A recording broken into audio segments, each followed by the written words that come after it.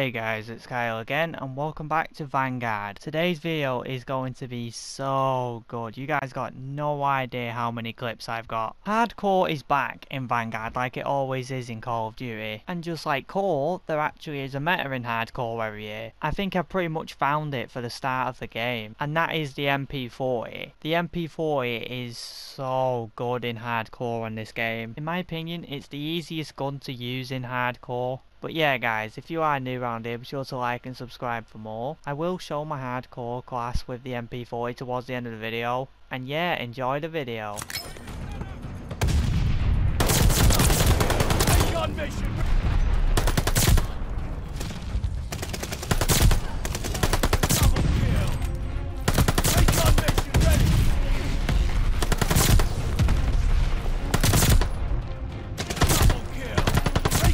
Mission ready. Hostile recon in the air. Recon mission ready. Find them.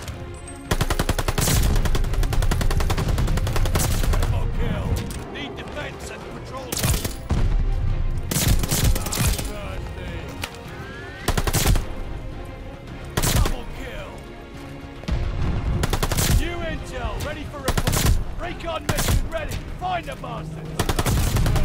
Ready for report. Double kill. Hostile reach sky. Recon mission ready. Find the bastards.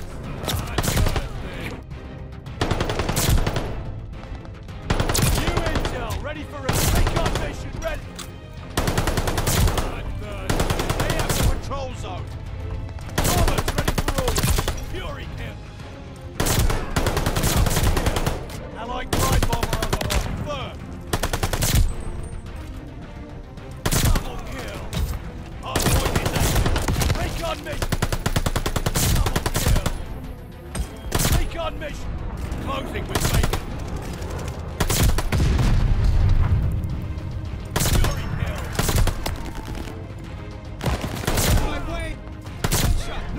Charlie. New intel ready. Recon mission. Headshot. No problem.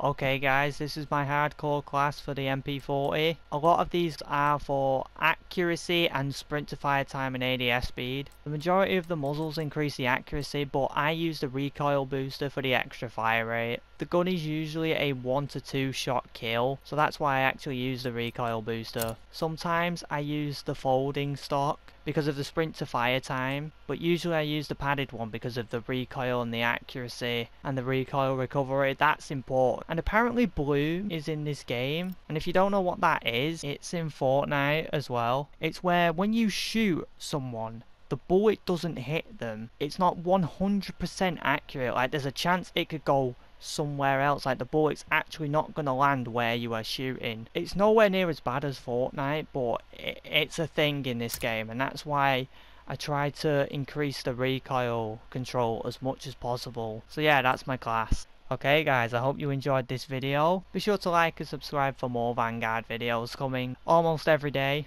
And yeah, I will see you guys on the next video.